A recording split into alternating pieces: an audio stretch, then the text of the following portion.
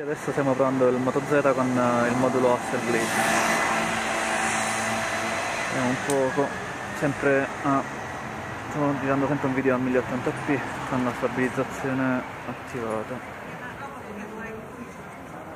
Infatti sembra abbastanza buona la stabilizzazione, almeno dallo schermo del, del telefono.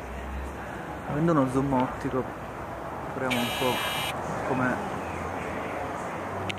funziona lo zoom rispetto alla fotocamera interna.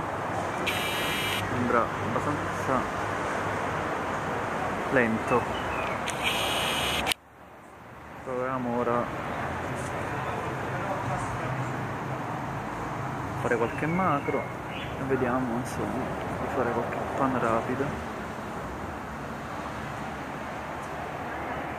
E anche qualche cambio di esposizione sembra leggermente più lento rispetto alla, alla videocamera interna.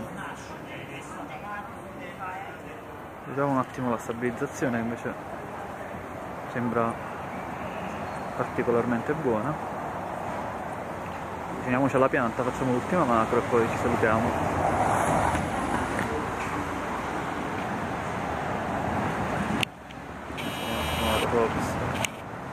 È lentissima e ciao